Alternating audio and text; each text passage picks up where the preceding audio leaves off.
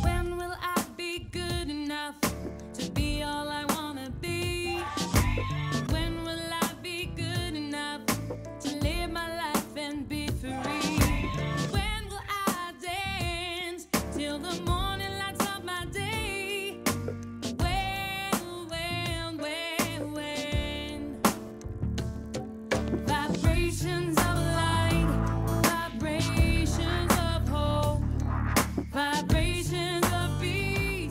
Why are you so focused and so determined to bring this out there to the world? Look, there are very few people who have a chance to make uh, this much difference in, in the world with your gifts.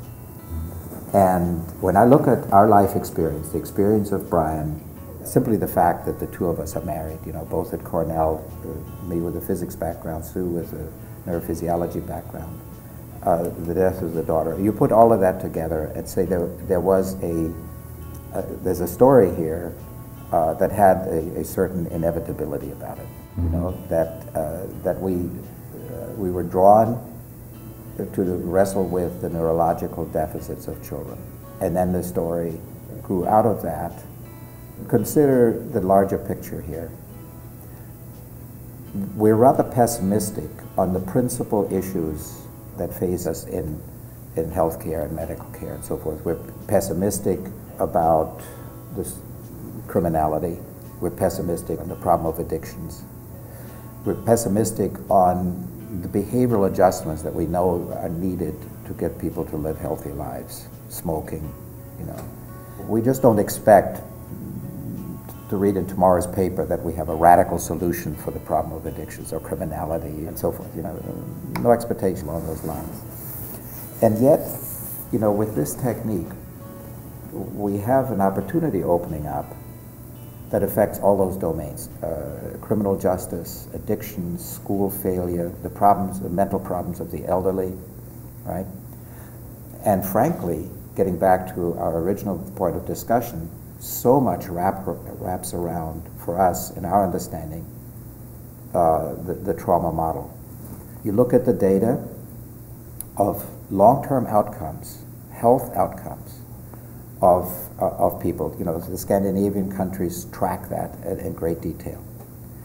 If you can trace in the child's background an adverse childhood event, you significantly influence the likelihood that they're going to have a disability paycheck, a disability check from the Swedish government in their maturity, right?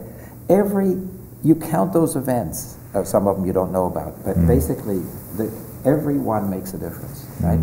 And so these early childhood events have incredible uh, consequences. They vector the child's uh, life, uh, life success, and ultimately their physical, their physical health.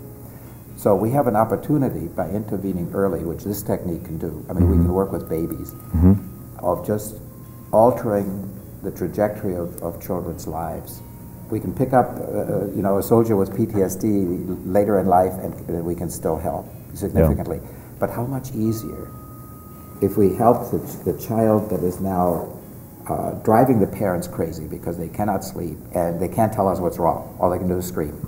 You know, uh, we do neurofeedback right then and there. We don't know what's amiss. Was it birth injury? Was it, uh, you know, what is the burden they're bearing? But we can help with the neurofeedback right then and there. Beautiful. So I come and I have 20 sessions because, uh, as I've shared, my, my journey is one through post traumatic stress recovery. Hence, this organization has been born, our organization. Um, I have 20 sessions. How safe is it for me to come and have 20 sessions? Are there any contraindications? No contraindications. No, you, you, you're gonna you're gonna figure this out in 20 sessions. You're gonna figure this out for yourself, and by that time, if you want to continue, you continue on your own. You take this thing, take the thing home, and communicate with, the, with us via the web or telephone or whatever, and get some continuing guidance. Because within 20 sessions, the clinician will have gotten to know you, and you will have gotten to know how you react, and, and that sets you on your path. So a person needs to own this. We need to get to the point where people own this. They say, okay, I understand myself well enough that I know when I need more neurofeedback. Mm-hmm. Because we're dealing with vulnerable brains. It's not like they're going to be perfect, right? Mm-hmm. And Like life is continually and traumatic. life, and life happens. Life happens. Yeah. Yeah. Everyone in our office does it, you know. Do they? It, it helps with everything, with sleep disorders and headaches and anxiety, and it just helps everybody feel like they're on a more even keel. Hmm. Yeah, but also it just helps on the positive side, you function better, mm-hmm. right? So mm-hmm. it's not just a question of, of uh, suppressing the pain or the whatever. You're not just chasing symptoms. You say, I, I just, I just, I'm more focused. yeah. Mm-hmm. And so the next revolution is the one where we actually realize to what extent we have the power to help ourselves.